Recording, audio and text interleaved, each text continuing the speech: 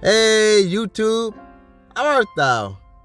I hope you're doing good. I hope you guys are staying safe during the time of this pandemic, washing them hands, using your hand sanitizer, all of that good stuff. But today we're going to talk about a city, a city that is located in the Sunshine State. What's the Sunshine State? One might ask. The Sunshine State is Florida.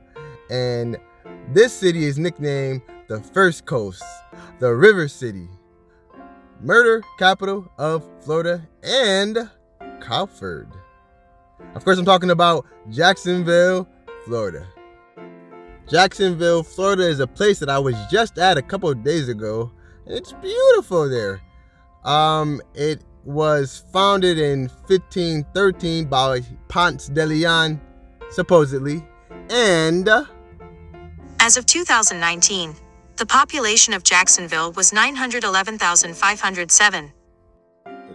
Like I said, I was just there a couple days ago, and to be honest, it kind of looked like a ghost town. I don't know if it's because of the pandemic or whatever the case may be, but for Jacksonville to be so big and to have the population that it has, uh, it really seemed like a, a ghost town. But there are a surplus of reasons why you should move to Jacksonville, Florida, and there is also reasons why you should not move to Jacksonville, Florida. So if you think about moving to Jacksonville, Florida, watch my top reasons not to move to Jacksonville, Florida. Number 10, pest. Now, some type of exterminator website says the most common pests are bed bugs, mosquitoes, rodents, termites, and cockroaches. I mean, I grew up in the projects. I know what it's like to, you know, turn the lights on and the cockroaches scatter, you know, or, you know, like you have like rodents in your house. Uh, I, I can definitely remember uh, a time where, you know, I think if I'm not mistaken, the rodents were like big, and you know, you would go to sleep, and you know, they would crawl on you. That's not a I don't know if that that'd be a good feeling to you, but yeah. And bed bugs. Mm mm mm.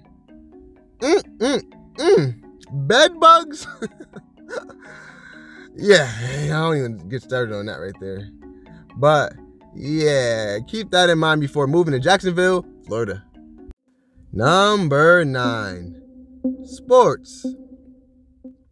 Now, I personally myself don't care too much about sports I just don't understand how people go so hard for people they don't know. And if you like sports, Jacksonville, well, you know, they offer that here. You know, in the South in general, it seems like from what I've been seeing, sports are like religion to these people.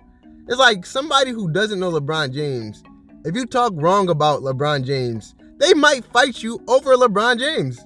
It's like, yo, it's not that serious. It's, it's just not. But I was reading on extraspace.com. It said Jacksonville has plenty of teams for you to check out. Get ready to yell Duval as you cheer on the Jacksonville Jaguars. Every fall at TIAA Bank Field, take yourself out of the ball game to see the Jacksonville Jumbo Shrimp. I don't even know what that is. MILB play at baseball grounds of Jacksonville. I mean, it goes on and just talk sports talk and whatnot, but Jacksonville offers sports. Now, this actually might be a reason why I don't move here. Um, and I actually it's funny because I kind of somewhat sort of was thinking about moving to Jacksonville, Florida. It, it, it really seemed like a, a, decent place, but yeah, sports and people going so hard over sports, I, I'm not really too fond of that. Number eight, transportation. Now, Innovative Property Solutions says the public transportation in Jacksonville isn't great. If you own your own car, then getting around Jacksonville isn't too bad. However, if you have to take public transport, the wait times really add up. It's possible to get around using public transit. The inadequate schedules and frequent delays will make it harder than it should be. That said, the transit situation in Jacksonville is better than some other Floridian cities and nearby states. I ain't gonna lie, from what I can recall, when I was in Jacksonville, Florida, uh, man, it it seemed like you probably do need a car to live there. That place is like huge. Um, yeah, but I mean that's just my opinion. Keep that in mind. Number seven, traffic. And stay tuned to the info from Jacksonville, Florida trivia. Now, stately.com says with around 1.4 million residents trying to get from place to place, this large city has an awful lot of roads. And that equals an awful lot of construction as it tries to maintain its roadways under the pressure of so many cars. Then eventually goes on to say it's gonna be a while. Now, in Jacksonville, Florida, in my personal opinion, this is like one of those places like Atlanta. It, it, it kind of confuses me a little bit because like eight miles away, um, like in a country settings, might be like, or eight miles might be like eight minutes. You know, one minute per mile. But eight minutes in Jacksonville, Florida, during times of congested traffic, eight miles. I don't know, maybe 45 minutes. I don't know, something crazy. And uh, you know, cause I think uh, I was traveling from point A to point B, and I might be going to a restaurant like two miles away, and two miles is like, you know, 15 to 25 minutes, like something like that. And it's just like that's kind of confusing to me, cause it's like, why is two two miles taking so? I, I don't understand. You know, I'm now I'm I'm exaggerating, or you know, I I can't actually remember or recall the exact times and whatnot. But yeah, just mm, keep that in mind. The traffic here is is, is, is some serious. Number six, crowded. Now, are you somebody who don't like to be around a lot of people? If so, this may not be the place for you. It's somewhere around a million people in Jacksonville, Florida. A million. It's somewhere around that number. Um, yeah, if that's gonna be a problem, you may not want to live here. Number five, police. I know you guys might be thinking, what about the police? What about the police? Now, somebody on Quora says the police, even with all the violent crimes, still miraculously find time to harass drivers. The police are brutal and corrupt. Now, I don't know if that's true, but it's worth doing some research. You know, I'm I'm a minority I'm black, uh, and I get nervous. I'm not gonna lie when police pull me over. I'm just being uh, I'm I get get a little nervous. Um, but yeah, you you, you might want to do some research on that. Keep that in mind. Number four, schools.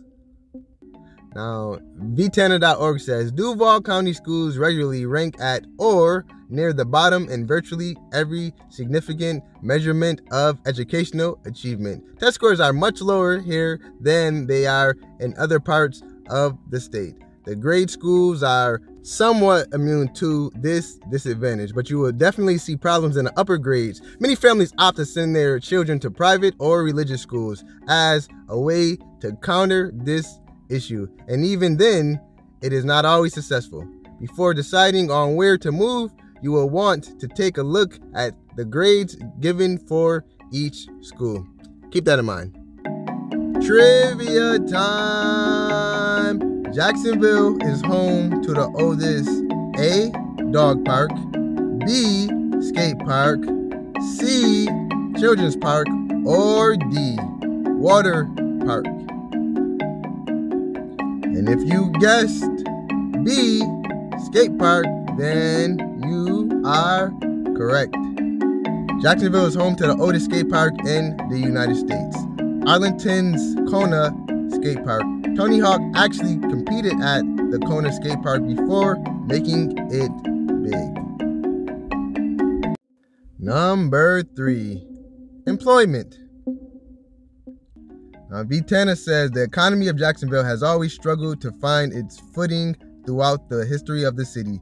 There has never really been a lot of strength to its overall economic presence. Even when the slow and steady growth that began in 2003, the financial recession in 2008 was something that impacted the community hard. Even more than a decade later, the unemployment rate in the city are higher than they are comparatively to the rest of Florida at 10%. There are only three Fortune 500 companies present in the community as well. Keep that in mind. Number two, construction. Now, I read somewhere that the construction on the highways are nonstop and traffic is terrible in rush hour as well. Keep that in mind. Number one, crime. Now, vittana.org says one of the reasons why Jacksonville struggles in this area is because of the ongoing racial tension that occurs in the city. Even though residents elected their first African American mayor in 2011, the history of segregation and profiling is still prominent. During the 1960s, Hemming Plaza was home of the Axe Handle Saturday events where black protesters were attacked by white residents. Uh, yeah and there is definitely crime in this city. Area Vibes rates the crime here as an F, and the crime is 59% higher than the nation's average. There are 35,974 total crimes, 3,957 crimes out of every 100,000 people in Jacksonville, Florida. Keep that in mind. So there you guys have it. That's the list. Some of my top reasons why you shouldn't move to Jacksonville, Florida. I mean, overall, Jacksonville does seem like a decent place, but you definitely want to weigh out these cons with the pros. Um, keep all of these things in mind. Thank you guys for watching. Like the video, you know, if you want to. Subscribe, but only if you want to. You know, leave some comments. But if you want to, though, you know.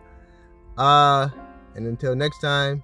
I wish you guys nothing but the best.